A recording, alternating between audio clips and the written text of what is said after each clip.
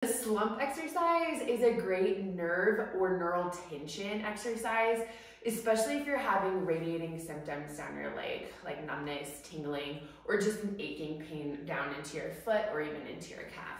So what you're gonna do is bring that chin down towards your chest and then give the worst world's worst posture ever, slumping down into that seat. And then you're going to extend your knee and bring your toes back towards you.